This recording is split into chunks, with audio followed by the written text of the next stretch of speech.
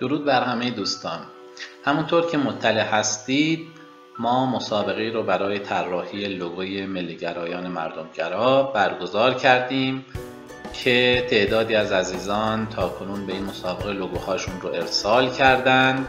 شما با ورود به سایت ملیگرایان مردمگرا می‌تونید به قسمت مسابقه طراحی لوگو بیاید و در اینجا از لوگوهایی که تا کنون برای ما فرستاده شده و قوانین مسابقه مطلع بشید.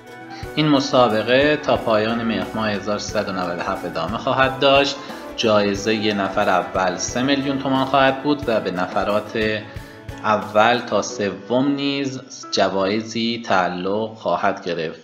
با آیدی تلگرام من لوگوهاتون رو ارسال کنید.